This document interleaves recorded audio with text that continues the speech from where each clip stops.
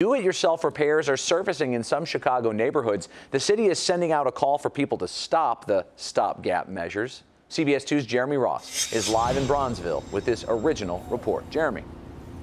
Good evening, Rob. Chicago firefighters reminding us that wherever you see a fire hydrant, there should be another water source a few hundred feet away. We see one in that direction, we see one in that direction, but it is this fire hydrant earlier today that was simply unsightly. This story doesn't start with a gush of news.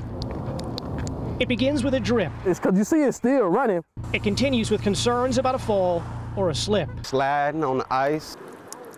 Duct tape. They wrap the raincoat around, then they got the duct tape and wrapped the duct tape around trying to stop it from leaking. Not sure what that is. And it's still leaking. Broken for months and months. Somewhere underneath the makeshift band-aid for a leak, you'll see the fire hydrant in 43rd and Champlain. This tale of the tape extends to downtown as well. Pictures show now fixed hydrants in Wabash and another bagged and taped on State. You don't take nothing like that up. You fix that. If your house is on fire, do you depend on that hydrant? Oh, no, no, man. Well, if they had seen the tape and plastic on it, they would have immediately gone to the next hydrant. Gary Litherland of the Department of Water says firefighters would instead go to a hydrant less than 300 feet away. He calls the tape jobs something neighbors did.